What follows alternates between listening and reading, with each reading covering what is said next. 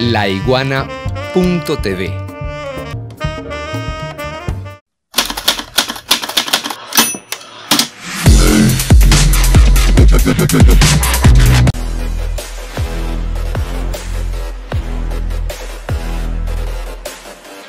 Ahora sí, vamos con el tema central anunciado al comienzo del programa y que bien pudiéramos titularlo Una ruta de la droga controlada por los pranes de la pica.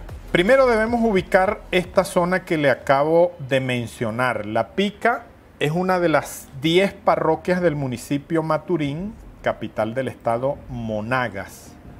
Los cronistas dicen que la pica adquiere su nombre porque se convirtió en un camino directo entre Maturín, capital del estado Monagas, y el puerto de Caño Colorado, que actualmente ya no existe. Pero sí debemos decir, y allí lo estamos viendo en algunos mapas, que la parroquia La Pica está pegadita al Océano Atlántico y tiene como vecino a las islas de Trinidad y Tobago.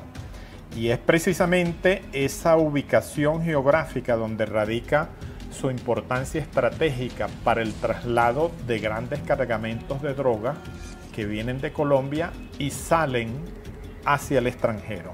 Cargamentos que son transportados a través de las aguas de los ríos Amana y Guarapiche, entre otros. Bueno, allí en la parroquia, en esa parroquia del municipio Maturín, valga recordarlo, se encuentra el centro penitenciario de Monaga, conocido como la cárcel de la pica.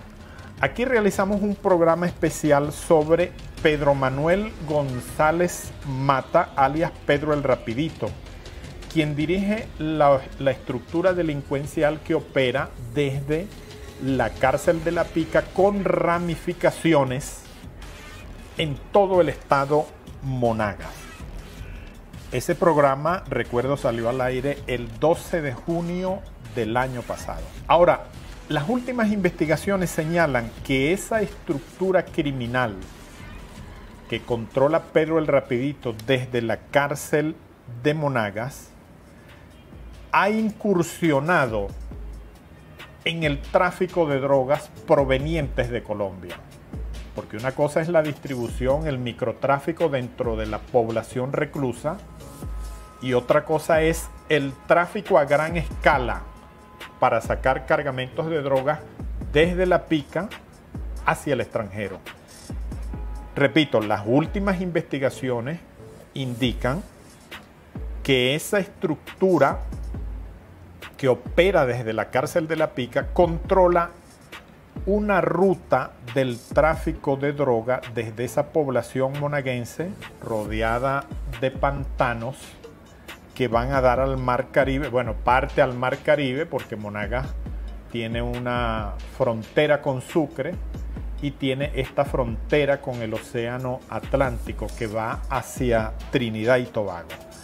Allí esas islas están ubicadas entre el Mar Caribe también y el Océano Atlántico.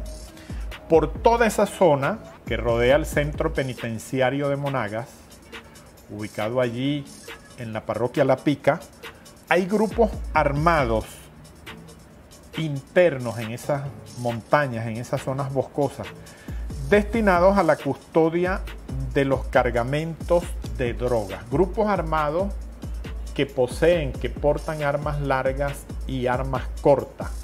Aquí hemos dicho que el tráfico ilegal de armas largas y armas cortas tiene un doble propósito. Uno, la custodia de las rutas por donde trafican droga y dos, la venta de esas armas y de esos artefactos explosivos.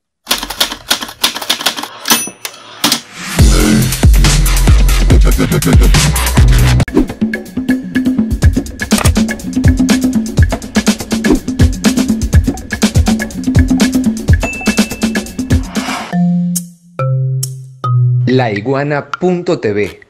La verdad hecha tendencia.